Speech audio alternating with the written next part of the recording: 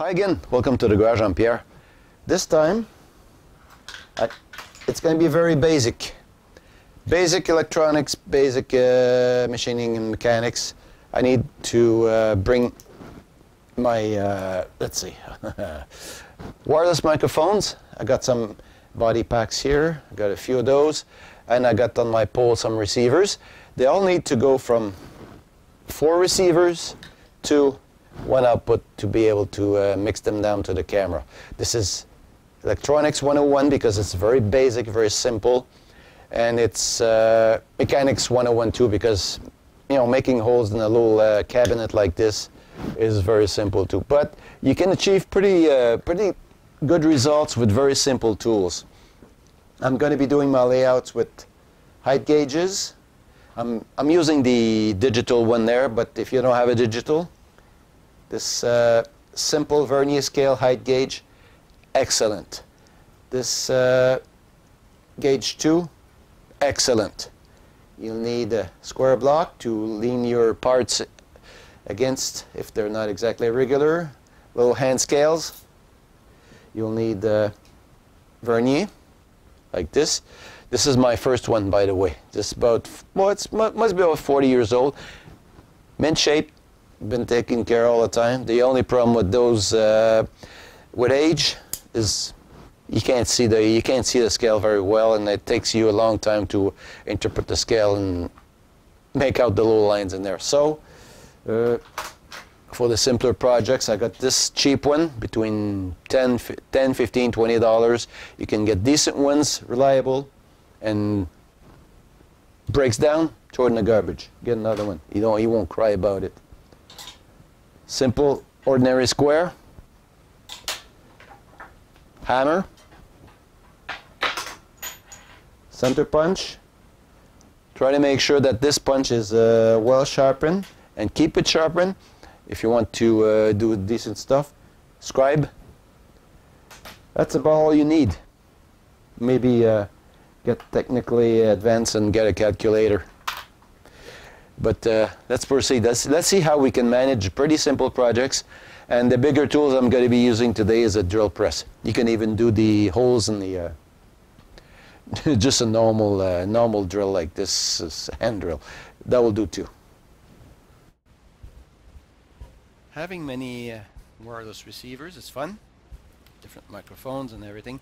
The problem is to uh, connect four of those receivers like these kinds of plugs to the input of the camera which use this kind of plug. And this has to be mixed. You can't just uh, put the wires together. That doesn't work.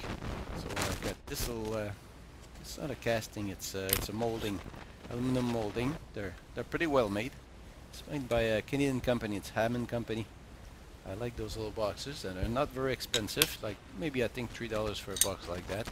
Little potentiometers to set the volumes of each channel the uh, potentiometers will be insulated from each other. You know, the um, how can I call that? The outputs of the receivers will be insulated with the insulating insulating resistors, and pretty simple. It's passive. I'm not going to be uh, doing anything active with ICs or any uh, anything of that sort. So I'm putting the uh, potentiometers, the grommets to keep the wires from wearing out on the surface, you know, the um, the walls themselves, and that's uh, that's about it. Simple enough. I'll I'll be doing some outlines and uh, a little bit of machining, and uh, something something clean will come out of this. Before we start making measurements on this, just uh, take note that when you when you get a casting, you get a molding or whatever. Be be sure that uh, you take into account the fact that uh, the walls aren't like you see there the side wall is not perpendicular with the other surfaces. This would uh, impair the um, you know the uh, taking out or the removing the mold uh, that wouldn't be that wouldn't be good. See this this times the bottom. And to in order to make my lines properly I'll be holding this against a um, right angle block here. You know and it's gonna make my lines pre precisely at the right uh, right place according to this part there which is wider. Now I'd like to get the height of that box. Same thing because the uh, you know, these sides and these sides are all uh, a little bit angled. Oh, I, re I reset this thing at uh, zero. Let me get the height of this. It's not a super precise project. That it doesn't have to be within, uh, you know, thousand or something. Eh. Let's see. Uh, let's see what we're reading there. Camera's in my way. I can't reach it. Okay. Okay. Four inches. 422. I get, get this here. Metric. 112.33 millimeters. We'll divide that in half and we'll make a center line. There we have uh, same principle. We'll get the camera's right in my pretty much in my way. Half there. I want to make a half on this side there too. Oops. Solid, yeah. And just to kind of double check, if not, it's easy to uh,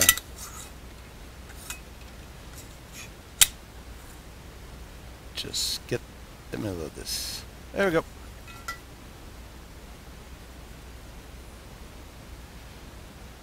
Get the line at the same same place. So Witten, uh, very close. and now we'll make this R0 to um, let's say we start to make the uh, measurements from the center. We want this uh, box to be centered. So, I got my little paper here. Let me get the inch one.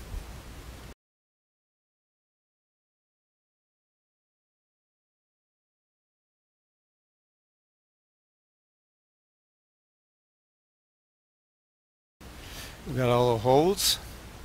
Easy to do.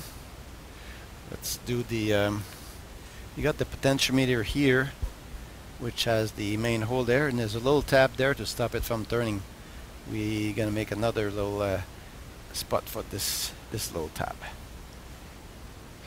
and that 390 thousandths um, once I got those this is good enough there you go it doesn't need a big marking just a little place for center punching after this. We got the uh, height there to determine. And since we, uh, not this one, this one, zero,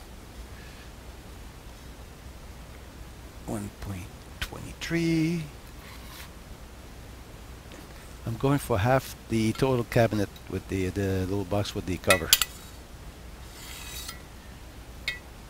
I have to do some punching. One little trick I use often when I want maximum precision on the uh, on the on the punch like this, I will use a very sharp punch and just press it very lightly like this. It does. Uh, it will do the job. This is the other the other one. This is in, in order to just make a little mark enough to make it easier with the uh, bigger punch later. I can also use a little bit, just very light tap. It's pretty much easier to place a very pointy punch like this than to point something like a very uh, very blunt nose punch. There you go. I'll give you a close up of this. See if my eyes are still good. I guess as we get older, eyesight not getting as good and not easy to align big punches or something very close. This, when I punch with the very fine, let's say, uh, pointed punch, I mean the the lines are pretty well, the intersection are pretty well respected there. It's uh, it's pretty clean. This one, this one. The rule, the uh, scale on top there is one hundredth of an inch per division there. These are uh, half millimeter uh, just to give you some kind of a reference on the kind of scale that there is. Okay, now that we got a decent starting place, we can just drop our bigger punch in there and it will like center itself. Get it there with a smaller punch that you see like you see better around this punch when you punch then you would see trying to match with this one. But once the little dip is done this one is locked in there and it will do a nice punch. Let me uh,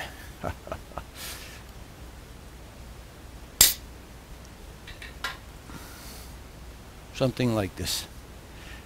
And now you see that looking at the punch marks see how well they're centered. Uh, just after I did the um, imprint with the bigger punch it's easy with this to uh, start with the starting drill and the press drill. You don't even need a very precise milling machine for this. If you get projects that need some certain amount of precision uh, you can still use press drill or less precise tooling for uh, getting a pretty decent results if you want to make it easy for yourself to uh, follow the dimp hole that uh, you made with a punch get get a drill with a good grind, even grind and uh, not too, let's say not too worn up. Okay, now when we uh, get into the whole the dimple from the uh, the punch, try to center the drill on this. If it doesn't move, it's centered. Make the hole.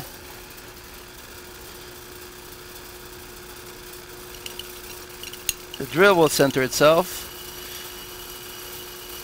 Another hole done. This is the pre-hole. This one here is the final hole.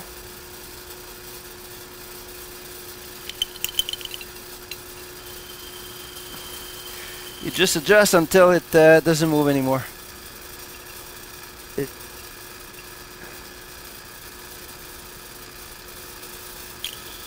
there we go it centers itself.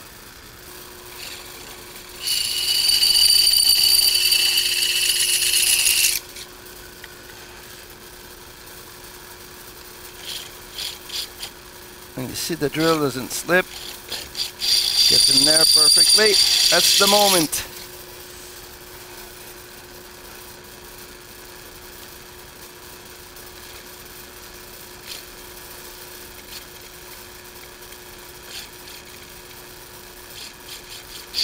That's it. Every second hole I said.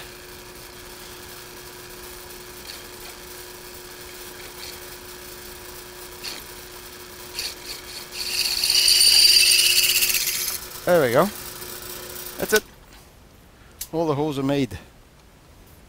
It's like who says that every precision job has to be done on a drill, uh, on a milling machine or very accurate uh, instruments you can you can do some pretty accurate stuff just on the drill press as long as you take certain precautions to uh, start with. Uh, I tend to lose a lot of stuff so I'll uh, take one precaution and maybe uh, avoid myself some bad words. Put them back in the little bag in case I know what's gonna happen.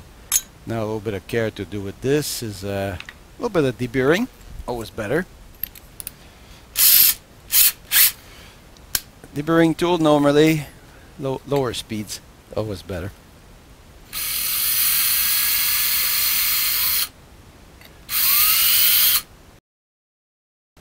This is done for this side. The inside there is easy. The other side there is not that easy. One method I use for the, the inside when it's like this on tin metal, I, I just insert my tool in this direction. I know there are tools to do the inside, but I don't have it. I mean, I didn't, uh, I didn't get friend with the people at Noga yet, so that's too bad, but it doesn't matter. I mean, I can do without that. There we go. Uh, important to do some uh, deburring on those because the uh, the grommet will be kind of maybe on the sharp uh, edges, and it's not it's not great for a grommet. This is done. Was forgetting this one. There we go. And the other direction inside. if you uh, angle yourself good, you uh, make a good good job on the inside. You check it out with your finger. It's good, and that's about it. Hey, nice, fun job entering some grommets in there. A very broad screwdriver, nothing sharp, and push them in there.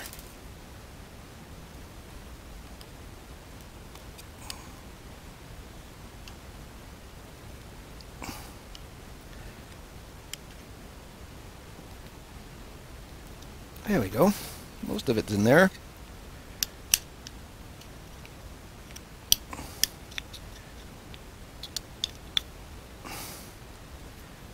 Mm, that's it. Nicely done. Okay, got the insulation off. I'm going to twist the wires. This is the ground. After this, I'm going to put some shrinkable tubing and uh, make it so it's insulated that doesn't run around the box. The, you know, live uh, live wires. This is going to be a ground wire, but you don't want it to touch any lives or anything useful. There we go. Now I got some shrinkable tubings on the uh, on the ends that will insulate and uh, protect. Special gun for shrinkable tubing. You can do that with matches and torches, but it not as good as this though, I would say.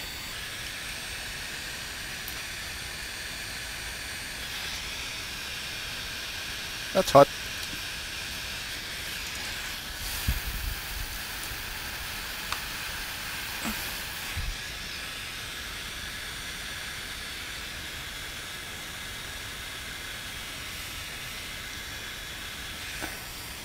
There we go. Make a clean job. Let's try just welding this to uh, watching through the camera. I don't know if uh, not not the greatest though. There we go, one done. The other one done. Eh, not too bad. Okay, this is the final result. Oh, just about. The four potentiometers are inside. The four inputs that will go into my um, receivers. The ground to go to the body of the uh, case there. Will have to be screwed on screws. The insulating resistors, the output, goes to the camera itself. And that's about it. Final result, not too bad. Whatever channel I use, I just put up the potentiometer, dose the uh, amount of sound I want, and that's uh, that's going to be pretty clean.